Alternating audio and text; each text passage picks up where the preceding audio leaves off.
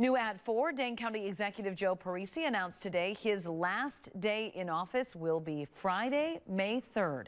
Parisi announced his upcoming retirement last October. He was first elected Dane County Executive in a special election in April of 2011. There are currently four candidates for County Executive to take over Parisi's position. The special election for the role will be held on August 13th.